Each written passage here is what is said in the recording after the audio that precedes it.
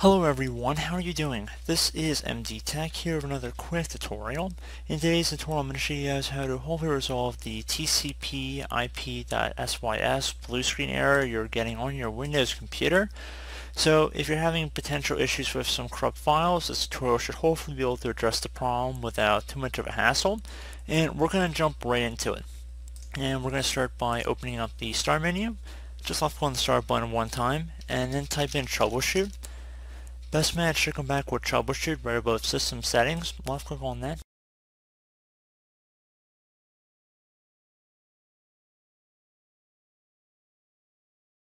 And then you want to scroll down on the right side to get to find and fix other problems, blue screen, troubleshoot errors that cause Windows to stop or restart unexpectedly.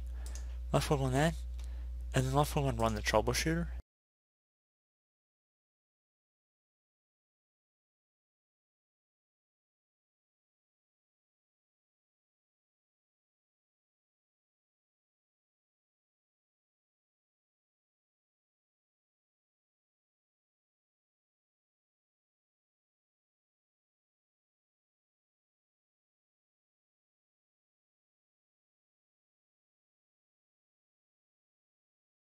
So if it doesn't find anything, you just try closing out here. If it does suggest anything, I would suggest following along with the on-screen prompts.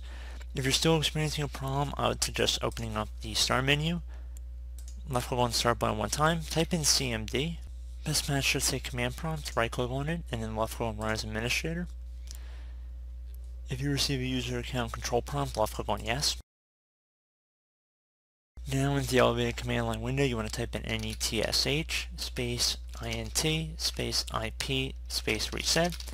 Again, netsh space int space ip space reset. Hit enter.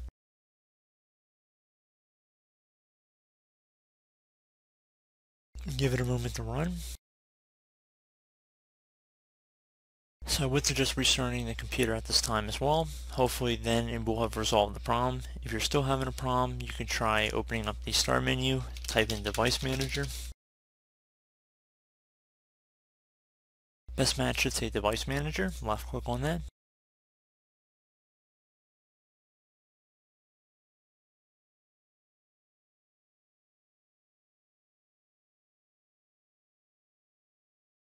So now you want to expand the network adapter section, so either double click on it or left click on the little arrow next to it to expand.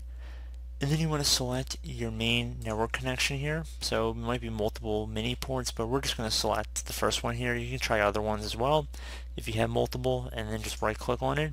Left click on update driver software, and you want to search automatically for updated driver software. Welcome to go online as well and see if there's manufacturer websites that have the driver software available as well, so you can manually download and install it too. So once you see the best driver for your device is already installed, left on close, restart your computer and hopefully that has resolved your issue. So as always, thank you guys for watching. I do hope I was able to help you out, and I do look forward to catching you all in the next tutorial. Goodbye.